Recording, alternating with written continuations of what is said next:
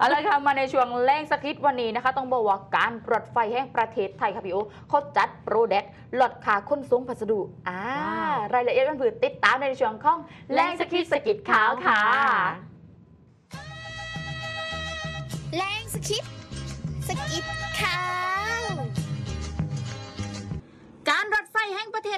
จัดโปรเด็ดลดข่าวคนสงพัสดุนักไม่เกิน 2 กิโลกรัมเมาจ่ายชิลา 30 บาท ตลอดระยะทาง เริ่มแล้ววันนี้ถึง 31 มกราคม 2567 จ้า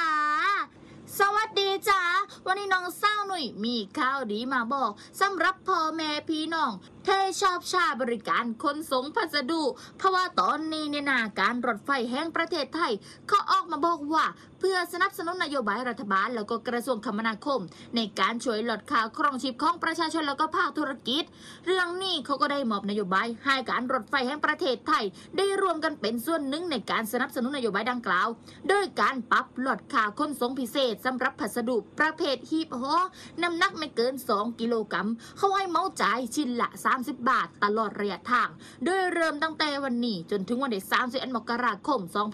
2567จ้า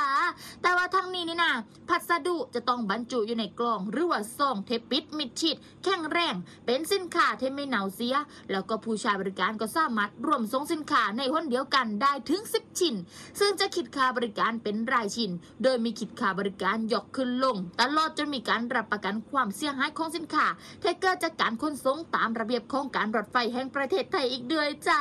ซึ่งคนใดสนใจเนี่ยนะก็สามารถใช้บริการโปรโมชั่นพิเศษนี้ได้ทุกวัน ไม่มีวันหยุดราชการ แล้วก็สามารถใช้บริการได้ทุกสถานีที่มีการรับส่งสินค้าของการรถไฟแห่งประเทศไทย ถ้าสนใจนี่นาก็สามารถสอบถามข้อมูลเพิ่มเติมได้ที่สถานีรถไฟทุกแห่งหรือว่าศูนย์บริการลูกค้าสัมพันธ์หมายเลขโทรศัพท์